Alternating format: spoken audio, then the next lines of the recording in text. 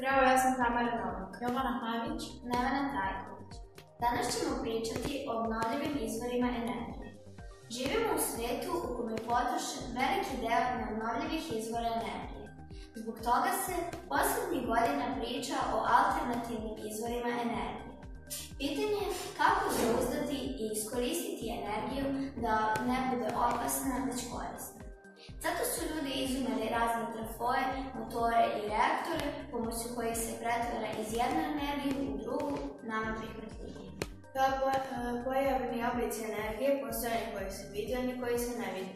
Vidljiva je energija kretanja energije nekog tijela koje se kreće, energija kretanja vode, vetra i sl. Nevidljiva energija je u vidu zračenja. To je toplota, elektricitet, zatim zračenje raznih vrsta vazduha, uključujući i, tu sve. Zakoni fizike kažu da energija ne može da se izgubi. Ona može samo da promeni, da promeni oblik. Da pređe iz toplote u mehaničku, iz mehaničke u električnu i sličnu.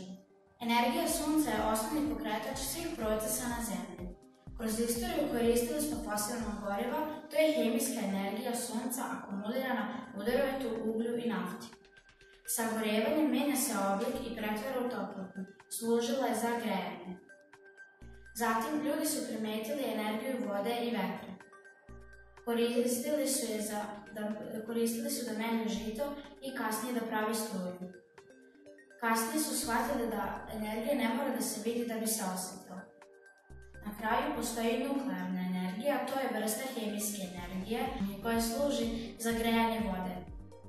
Pa na parogeneratore, kasnije za struju, znači postoji električna, mehanička i nuklearna.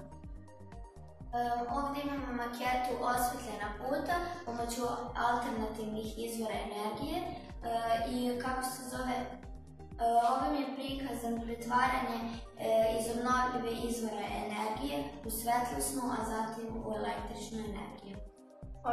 Ove, svetiljke osvetljavaju ulicu i put, a dobijaju struju iz baterija, a baterije se nadopunjavaju iz solarne ploče i vetrenjača.